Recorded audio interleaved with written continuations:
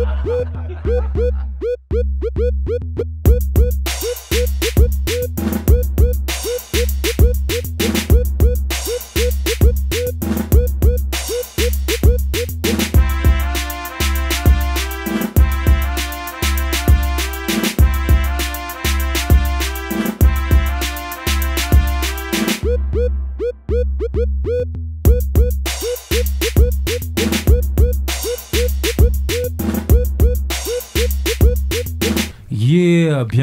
Sono mon gars. Yeah.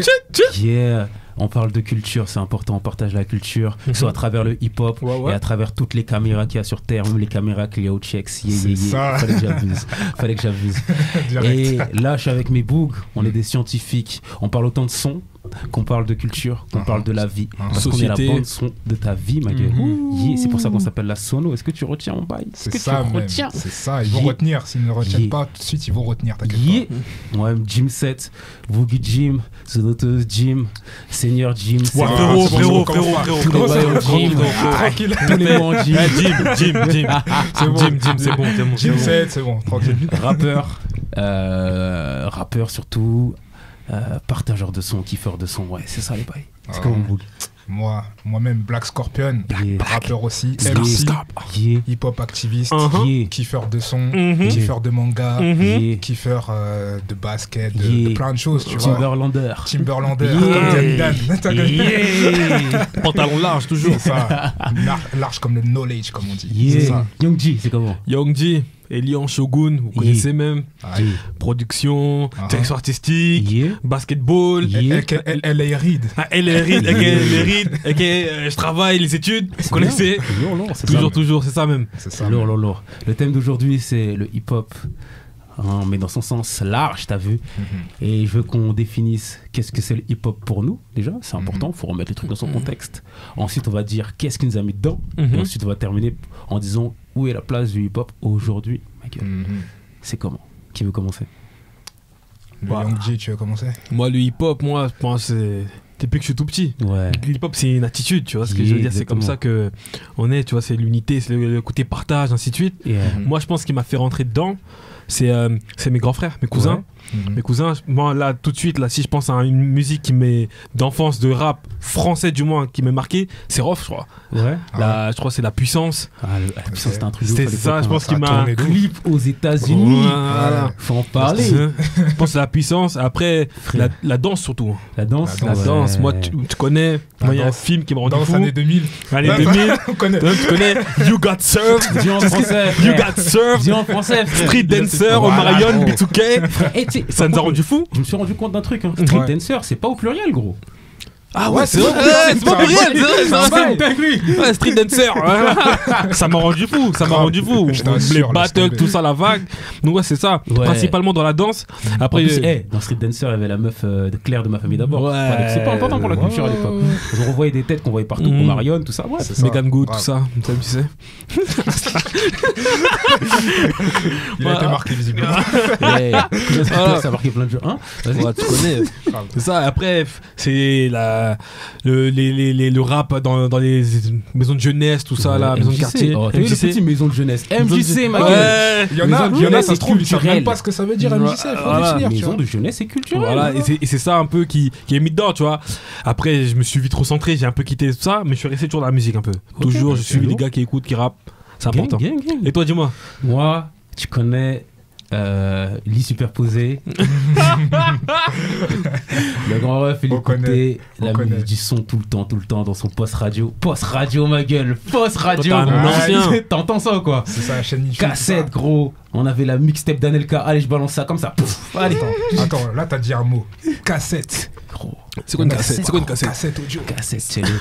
avec le stylo quand tu rembobinais, frère. Tu connais, gros. On a vécu une période. Eh, que- question, juste question. Eh, pour les jeunes qui nous suivent, trouvez le lien entre une cassette audio et un stylo. La Voilà. vérité. La vérité, gros. Euh, moi, j'ai grandi dans ça, vraiment. Après, euh, mon grand frère, il rappait. Ouais. Euh, il rappe toujours.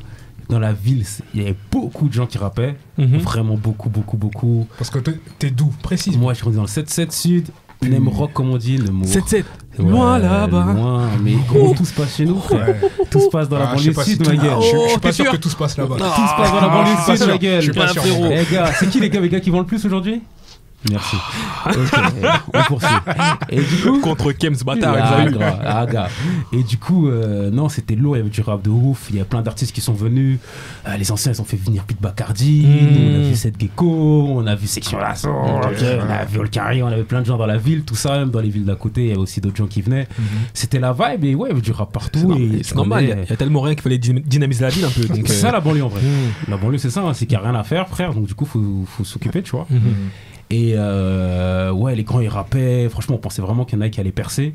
Il y en a qui, ils ont fait leur petit bout de chemin. c'est les- croisés un peu ou pas T'as dit quoi T'as dit quoi Ligaments croisés un peu ou Non, non, C'est non, non, non, du corps vocal, hein, bien sûr Non, non, non, non, non, c'est c'est un bâtard. c'est. Non, c'est des problèmes de. euh, manque de c'est- respect. C'est des problèmes de. Parce qu'il y en a beaucoup qui ont percé. Je juste pas les blazes, mais crois-moi.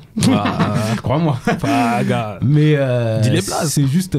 Frère, va faire tes recherches. Ok, pas de soucis, j'irai faire ma recherche. Et euh, non, en fait, genre, juste, c'était. C'était ça, quoi, tu vois. Mhm. Mais vas-y, nous, ça rappait parce qu'on galère au quartier, en fait. Ok. Voilà, c'est tout. Pour passer le temps, quoi. Ouais, vraiment. Ok. Et toi, Scorp Ah, moi, je suis un gars de Vince Pro, de province. Vince Pro Où ça Ouais. Dans les Ardennes, 08, nord-est de la France. Ouais, c'est- Représente 08, Représente mais tous les baby. Charleville-Mézières, Yeah. c'est là où j'ai grandi en grande partie, tu vois. Enfin, après, j'étais un peu dans plusieurs endroits, mais Mhm. Yeah. voilà, moi, j'ai. Par contre, pareil, lit superposé. tu connais. Pour ça, la ref, t'inquiète pas.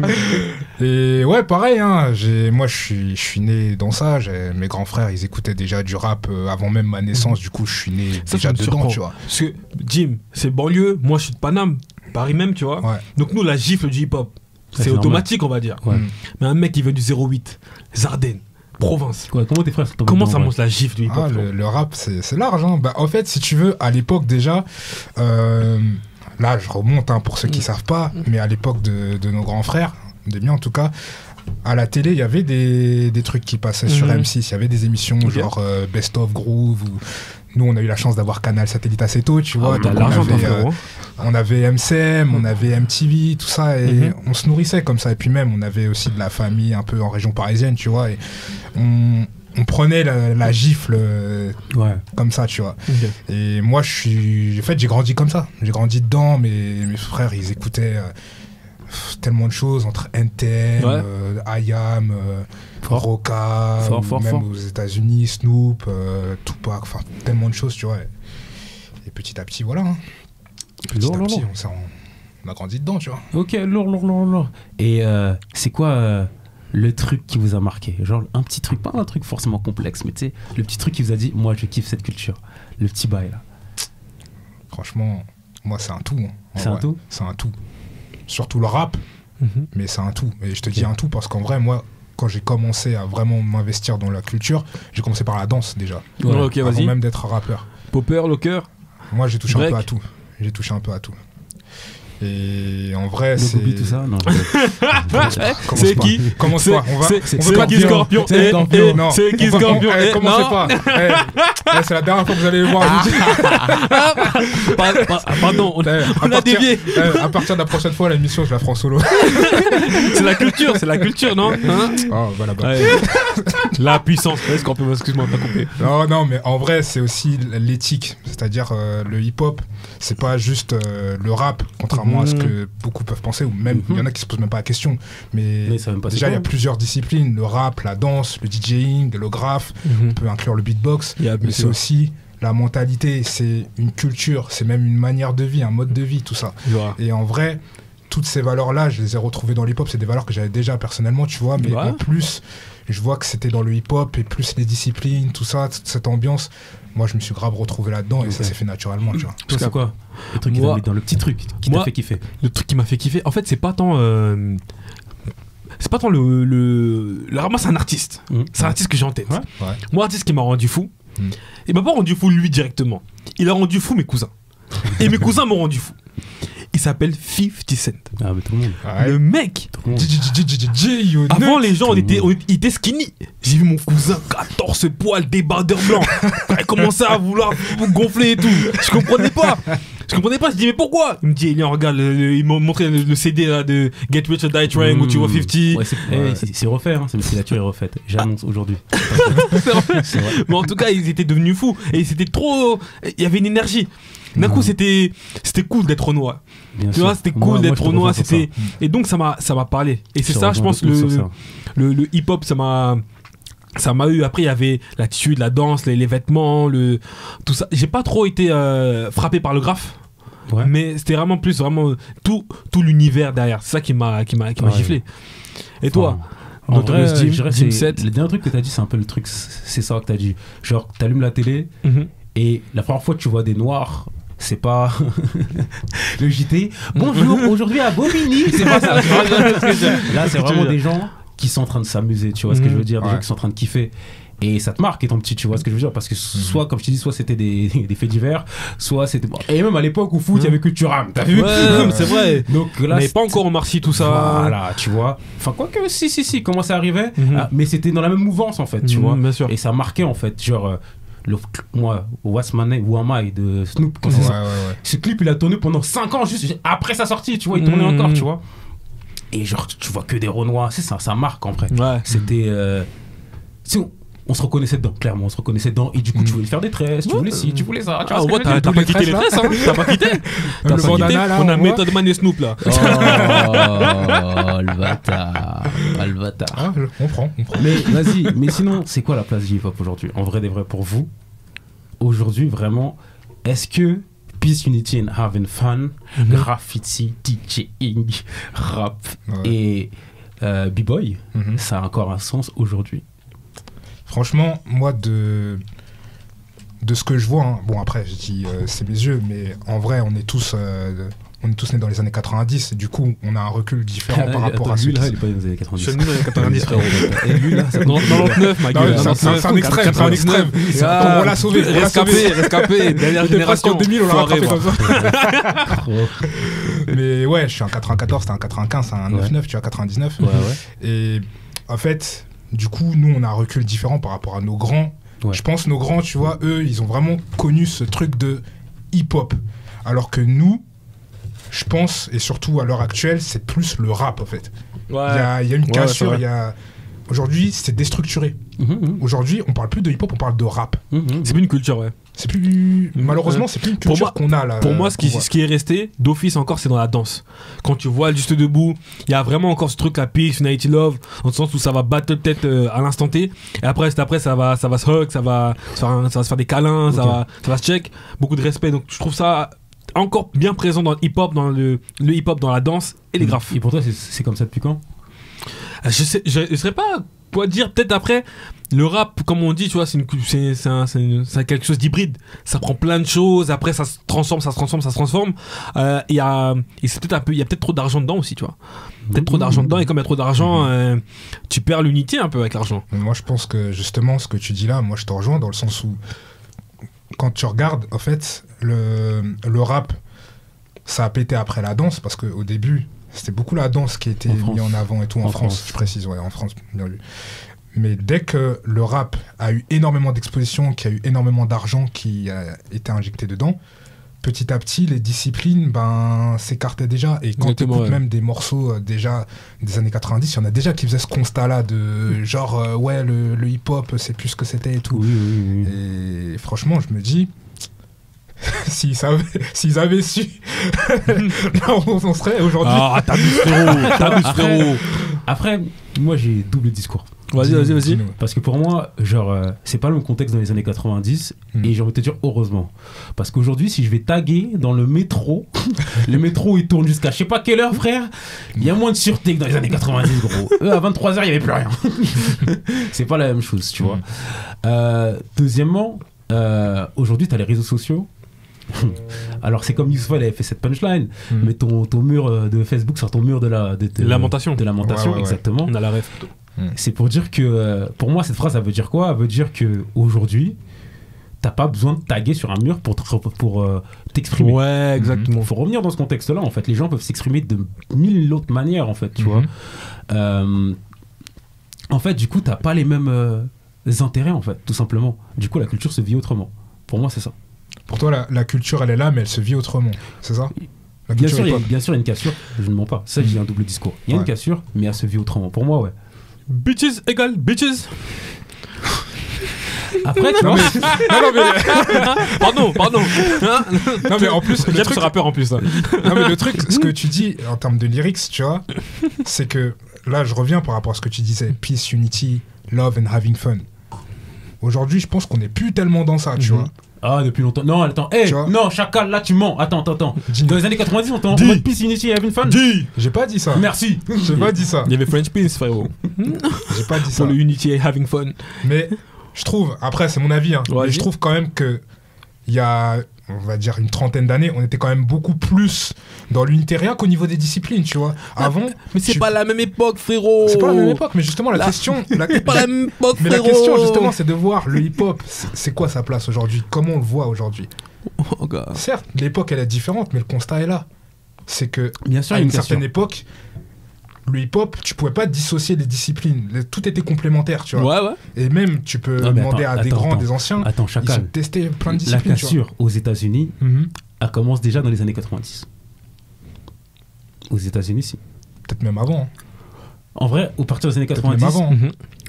Non. Tu sais pourquoi? Parce qu'à l'époque, jusque. euh, Peut-être jusqu'au euh, début de l'âge d'or américain, Mhm. du coup, au début, début 87, toute cette, co- toute cette période-là, c'était le DJ qui était le gars qui était en avant. À partir de, de ce qu'en plus on en discutait, Ouais, ouais. de Rakim, tout ça, c'est là où le rappeur commence à devenir la star. Mais au Mhm. début, on dit pas, Ra- on dit pas que Rakim, c'est aujourd'hui on dit Bah, Rakim. On Tu dit prends encore French Prince, c'était JJF la star. hein. Pas Will Smith. Bien hein. sûr, mais bien sûr. C'est, pour moi, c'est à partir des années 90, il y a vraiment une cassure. En France, peut-être un peu moins parce que le truc, on le digère, mais en vrai des vrais, parlons français.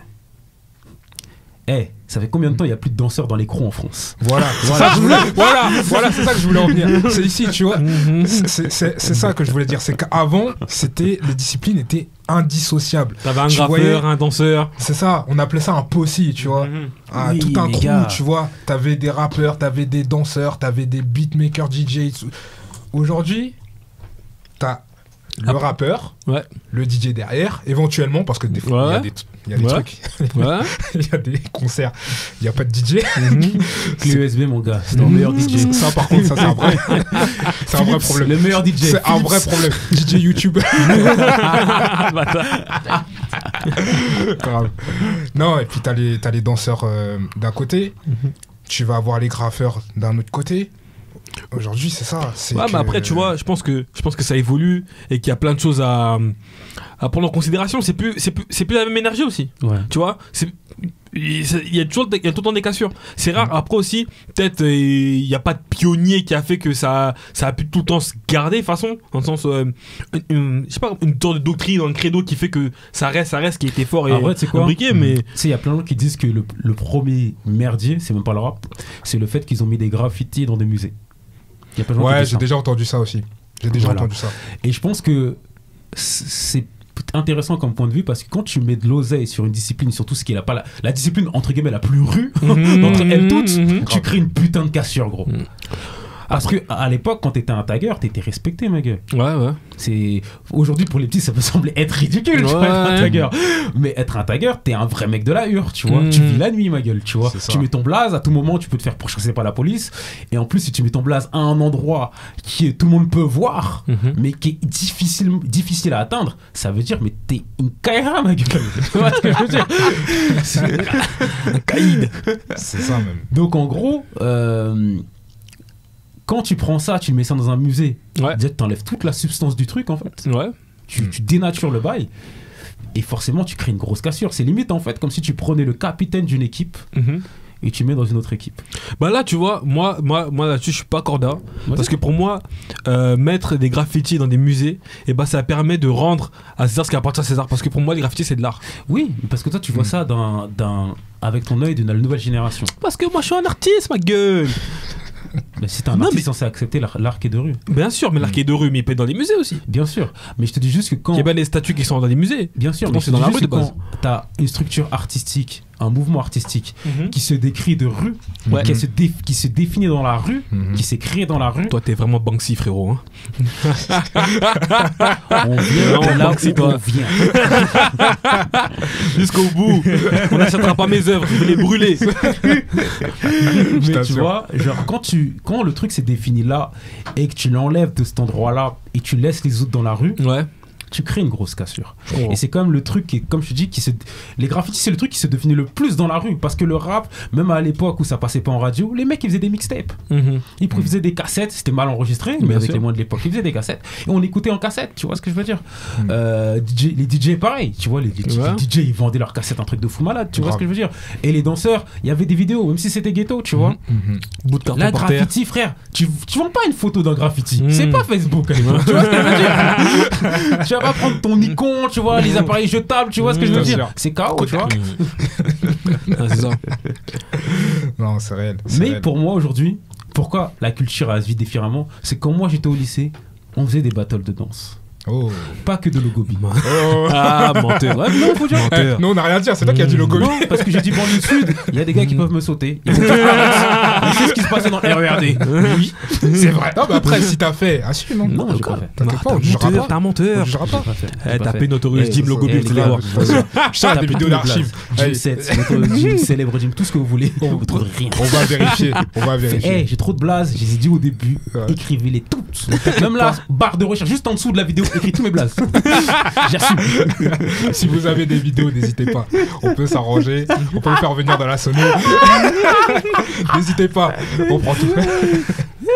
Ah, moi, je te dis, il y avait des battles de danse, il y avait des battles de crump au lycée. Ouais. Ah Il y avait des battles, même des battles de rap, frère. On faisait des cyphers au lycée. du 7-7 ou d'A- d'Atlanta, toi, frérot Mais gros, Battle de Crump. quand je dis ça Au lycée. chez moi, c'est pour de vrai, gros. Ah, gars. C'était pour de vrai. T'es hip-hop à C'était fond, toi. pour de vrai. On faisait des cyphers au lycée, gros. High School Musical du rap, frérot. C'est chez moi, gros. Je vais te dire un truc. Puissant, je frérot. veux dire un truc, frère. Je veux te dire un truc. Il y avait des boucs, frère. Ouais. Dès qu'on voyait un bouc, il avait une guitare. Ouais. C'était mort. Tous les rappeurs se mettaient autour de lui, il fait joue, un truc, joue un truc, ma gueule, joue un truc. le, le gars, il avait pas le choix. Il le disait sur ce ton-là, donc. C'est comment c'est Pourquoi la pression comme ça Non, c'est la passion. Pourquoi tant t'es agressif hein Ah. C'est la passion. Demande les choses gentiment, il va le faire, non? Non, non. Oh. C'était bonne vibe. Les gars, ils comprenaient que, tu vois, c'est sous le, tu vois, sous- c'est qu'une question de forme, tu vois, la véhémence, c'est Ouais, c'est- ouais. c'est artistique. Bon, en tout cas, bon, en tout cas, ce que je peux dire, c'est que qu'on le veuille ou non, même si le hip-hop, euh, ça a peut-être dénaturé. En tout cas, si on est présent ici, c'est qu'il y a toujours un peu cet esprit-là. Il sûr, existe sûr. toujours, même s'il a diminué. Regarde comment il savent, gros. C'est pas hip-hop, gros.